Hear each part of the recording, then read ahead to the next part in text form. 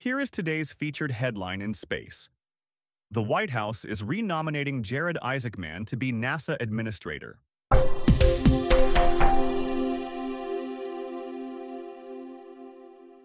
Today is November 5th, 2025, and you're listening to Space News First Up. Here are today's other top headlines. China is postponing the return of a Shenzhou spacecraft from its Tiangong space station after concerns the spacecraft was damaged by orbital debris. Telesat plans to launch the first satellites for its Lightspeed constellation late next year. SES is turning to another satellite operator to help it meet demand for aircraft connectivity services. And German satellite manufacturer Reflex Aerospace has raised 50 million euros, $57.4 million. First Up is produced by Space News, the industry standard for professional space journalism.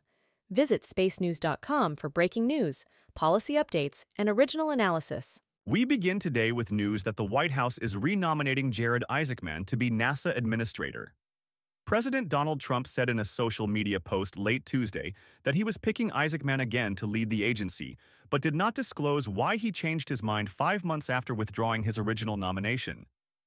Isaacman was just days away from a Senate confirmation vote when Trump pulled that nomination, and may have to start the process over, an effort that would take months. Trump also thanked Sean Duffy for serving as NASA's acting administrator the last four months. Duffy was reportedly interested in staying in the post for the long term. Isaacman's renomination was widely welcomed by space industry officials and organizations.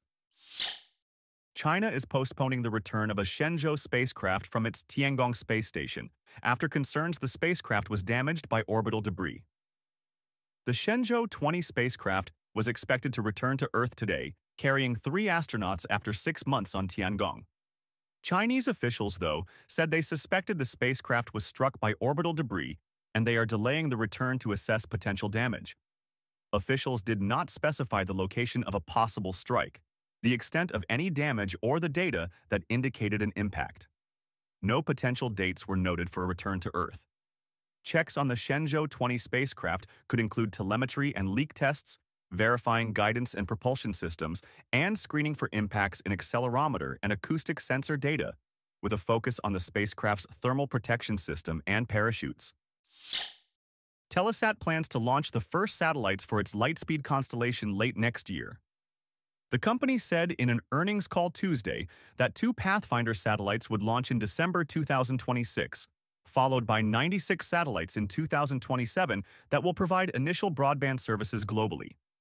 The two Pathfinder satellites are designed to confirm ground tests of the spacecraft, being built by MDA Space.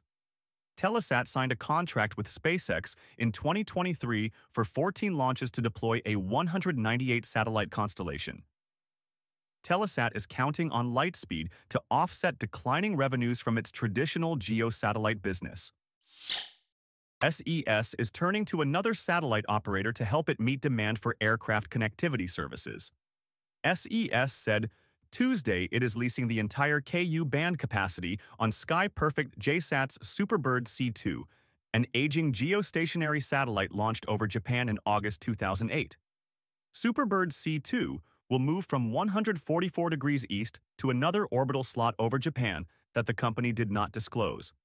Services are expected to start this winter. SES plans to use the satellite to provide extra capacity needed to meet growing demand for in-flight connectivity services in Asia. German satellite manufacturer Reflex Aerospace has raised 50 million euros, $57.4 million. The company announced the Series A round Tuesday, led by American venture capital firm Human Element, with participation from several other investors.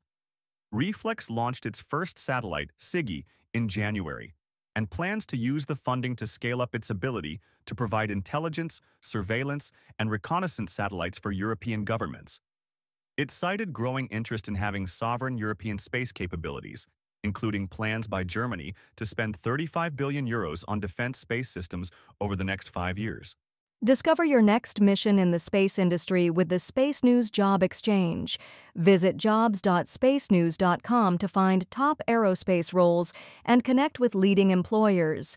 And for employers, use discount code JOBEX for 15% off your next purchase. In other news, an Ariane 6 successfully launched an Earth observation satellite Tuesday.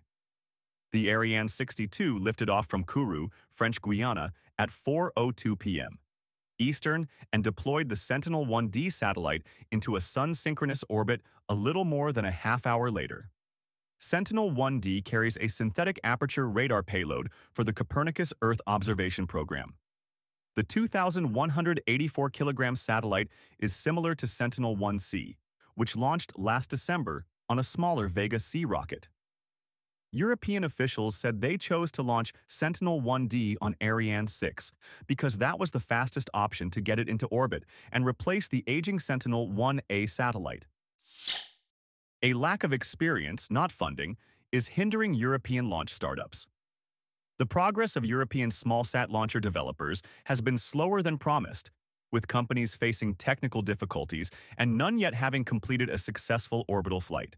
Analysts say that funding is not an issue, but rather a lack of experience, and that means that these startups are unlikely to play a major role in meeting Europe's space access needs for the foreseeable future. Share your company's news with the entire space industry through Stellar Dispatch, the press release service from Space News.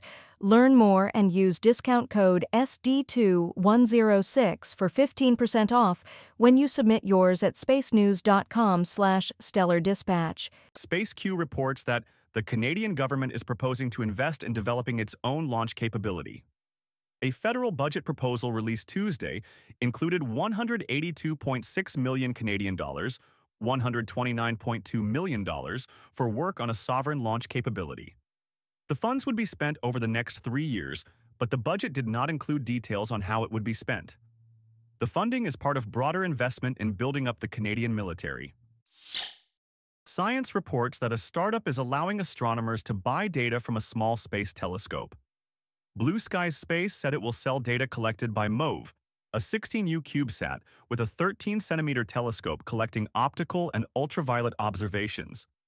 Mauve is scheduled to launch later this month on a SpaceX rideshare mission. Blue Skies Space is offering annual subscriptions to data from Mauve, with nine research groups signing on so far.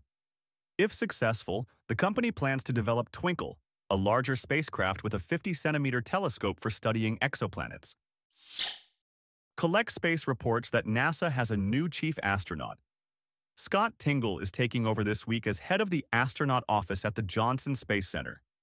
He succeeds Joe Acaba, who is moving into a new role as a technical advisor to JSC director Vanessa Wyche.